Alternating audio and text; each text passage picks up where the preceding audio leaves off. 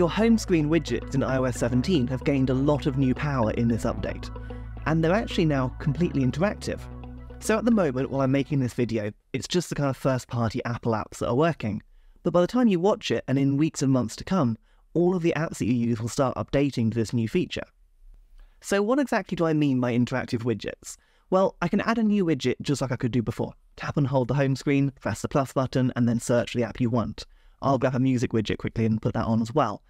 But now all of these widgets, rather than just opening the app, are actually fully interactive.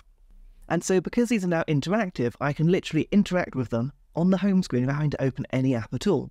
So in the HomeKit app in the top corner, I can turn the fan on and turn the light in my office on just from the home screen by tapping those buttons. On the reminders list, I can tick an item off just by pressing the circle and it's gone. I haven't got to open the whole app and go through the whole process. On the music player, I can press play, I can press pause, just like you'd expect. Of course, I can still open up the app just like before by tapping onto the main body of the widget, like the empty space or the main text, and that will open the app just like it would do before iOS 17. But having this new feature just means speeding up a lot of interactions with your phone because you haven't got to go to the apps anymore.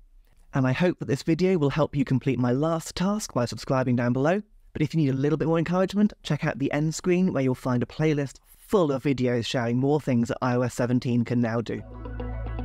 And if you do like these videos, please do subscribe down below, that way you won't miss any in the future.